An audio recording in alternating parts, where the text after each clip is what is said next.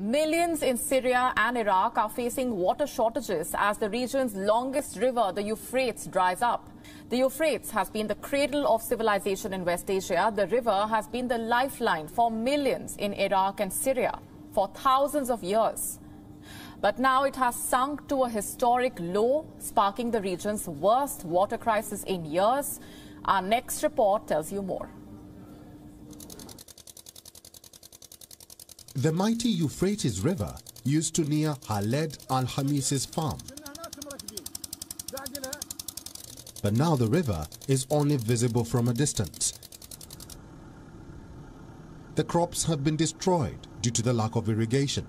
Even worse, the farmer's family has been left without drinking water.